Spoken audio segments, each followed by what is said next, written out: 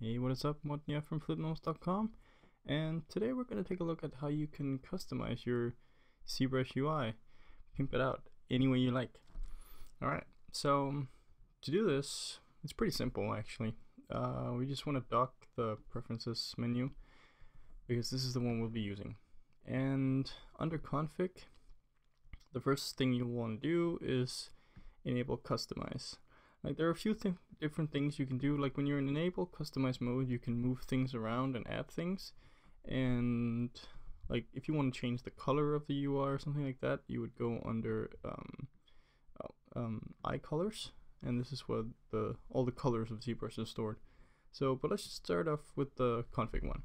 So, um, like you can see here, my my UI is going to be um, uh, up for download. So if you want to check it out, uh, you, you, you can just go ahead and download um, but what I've done is I've removed a lot of the stuff that I don't really use and sort of focused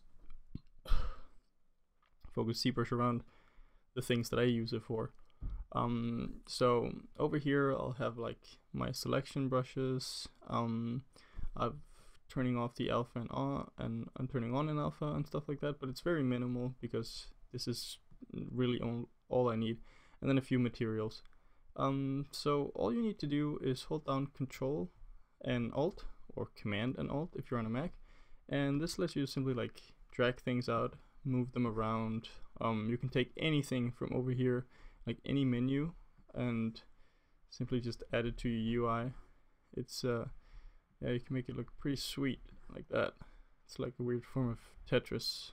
Like it's really a it's really a weird puzzle sometimes to like make it all fit in there, but um you can really do whatever you want and like say you never use any of this right? And yeah so just go crazy with it. And like I said I'll upload my UI so you can take a look at it um, and modify it any way you really want.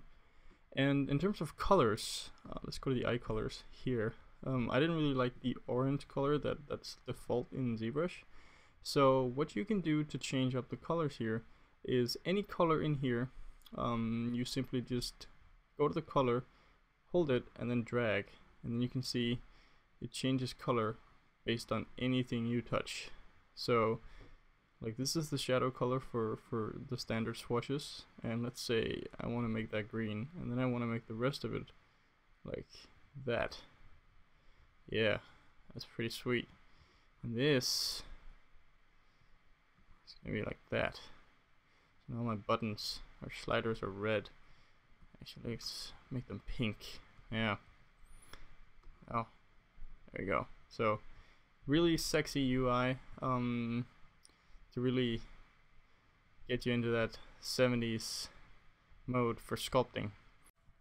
And just as a quick note, you need to save this before, because um, if you just exit uh, ZBrush now, then it'll just go back to its default uh, UI. So you want to go to your preferences, under config and just say store config file. Um, I'm not going to do that because uh, I don't like this, but this is what you'll do. You just say store config. And what you can do, like say you um, you have like a work desktop somewhere and you want to bring your sweet looking UI with you to work. Uh, you just save your UI and just, I don't know, mail it off to yourself and then you load it back in there. Um, and this way, uh, you'll always have it with you. So it's really nice. There is like another, uh, let's just uh, a couple other things that I want to go through is in the in the UI options.